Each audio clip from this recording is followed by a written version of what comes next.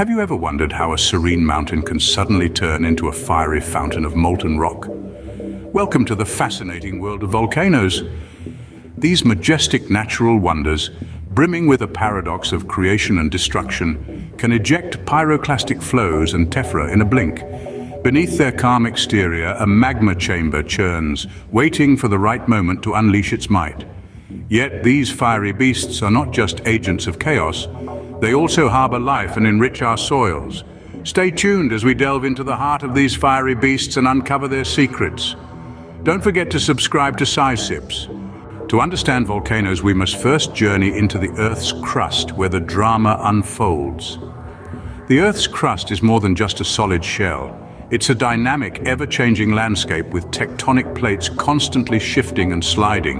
When these plates collide, one plate can be forced down into the mantle in a process known as subduction.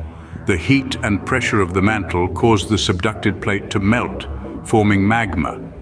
This magma is less dense than the surrounding rock and begins to rise, cutting a path through the crust. But not all magma is created by subduction. Deep within the earth, plumes of hot rock rise from the boundary between the core and the mantle. These mantle plumes can also generate magma in a process known as lithospheric decompression. As these plumes rise, the pressure decreases, leading to partial melting of the mantle material. Now let's talk about the types of volcanoes these processes can create. First, we have shield volcanoes. These gentle giants, like the Hawaiian Islands, are built from layers of fluid lava flows. Their wide shield-like shape is a result of this flowing lava, which can travel great distances before cooling and solidifying. Then we have cinder cone volcanoes. These are the smallest type of volcano and are made up of loosely cemented volcanic fragments called cinders or scoria. They have steep conical shapes and often form on the flanks of larger volcanoes. Lastly, we have composite or stratovolcanoes. These are the classic cone-shaped volcanoes that you might picture when you think of a volcano. They are built from alternating layers of lava flows, volcanic ash and cinders. These volcanoes can produce powerful eruptions like Mount St. Helens in 1980. Each of these volcanoes has its unique characteristics formed by the interplay of magma, tectonic forces and the Earth's crust. They are testament to the powerful geological processes at work beneath our feet. So that's the birth of a volcano, but what happens when it erupts? An eruption is a spectacular display of Earth's power, but what forces trigger this explosive event? Let's delve into the heart of the matter. Eruptions come in two basic types, effusive and explosive. Effusive eruptions happen when magma, that's molten rock from beneath the Earth's crust, escapes through cracks in the surface, flowing out slowly and steadily. Picture a bottle of ketchup tipping over, that's your effusive eruption. Now for the explosive ones, it's more like shaking up a soda can and popping the top. These eruptions occur when the magma is thick and sticky, a characteristic we call high viscosity.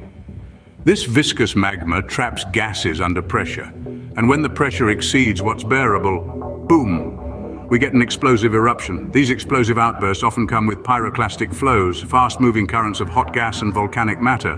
They also spawn lahars, deadly mud flows made of water, ash and rock debris. And let's not forget the volcanic ash. This isn't your barbecue pit ash. It's tiny, jagged pieces of rock and glass that can blanket entire landscapes and pose serious risks to health and aviation.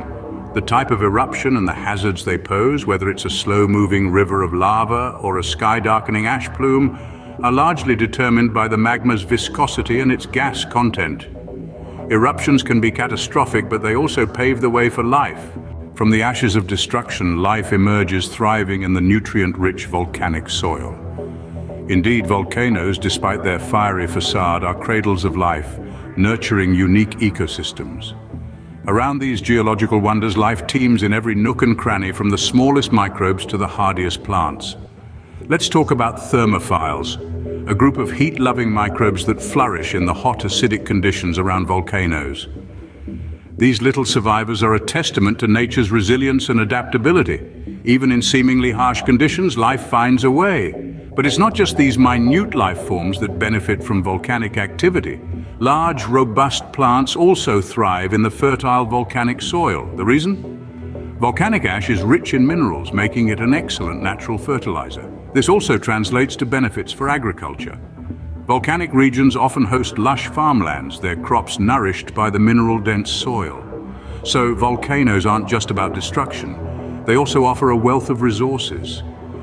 And these resources contribute to the cycle of life, showcasing the intricate balance of our planet's ecosystems. Volcanoes are not just natural phenomena, they are also a source of untapped potential. Imagine harnessing the raw power of a volcano, turning that heat and energy into something useful. That's the principle behind geothermal energy. We're talking about using the Earth's own heat to generate electricity, heat homes and more. And it's not just about energy. Volcanoes are also treasure troves of valuable minerals. Ever heard of a little thing called gold? Yeah, you can thank volcanoes for that. And copper, silver, even diamonds, all brought to us by the power of volcanoes. But how do we make the most of these fiery giants without getting burnt? That's where technology comes in. We use seismographs to detect the slightest tremors indicating a potential eruption. Gas sensors monitor changes in the air and satellite imagery gives us a bird's eye view of the situation. From a source of fear to a resource for innovation, volcanoes continue to shape our world. Volcanoes, with their fiery fury and life-giving ashes, are a testament to the dynamic nature of our planet. These magnificent natural phenomena, in all their destructive and constructive glory, give us a glimpse into the heart of our world. We've journeyed through the depths of geological processes, witnessed the explosive science of eruptions, and marveled at the ecosystems that thrive in the shadow of these fiery giants. We've also seen how human innovation harnesses the raw power of volcanoes from predicting eruptions with cutting-edge technology to tapping into their geothermal energy. Volcanoes are not just symbols of nature's fury, but also of its bountiful generosity, enriching our soils and fostering unique life forms. They hold the promise of untapped resources, renewable energy, and a deeper understanding of our planet. So don't forget to subscribe to SciSips for more thrilling scientific adventures. So the next time you see a mountain, remember it might just be a slumbering giant waiting to awaken.